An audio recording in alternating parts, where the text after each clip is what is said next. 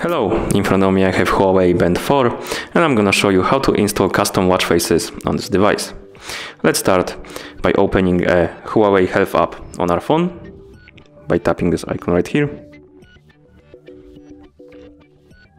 Here let's tap on the devices and then select Huawei Band 4 from the list. Right here we have watch face category and we can tap on one, for example Vali, and then tap on install. And now let's wait. And as you can see, after it's done installing, it also automatically changes to the one we installed. We can also go back and tap right here on more to open the a bigger list of watch faces. And here we have quite a lot of them. And we can find one that we like, for example, this one, the pumpkin, and tap install underneath and wait until it's done installing.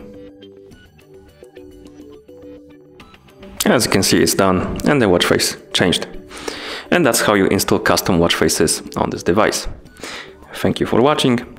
If you found this video helpful, remember to subscribe to our channel and leave the like on the video.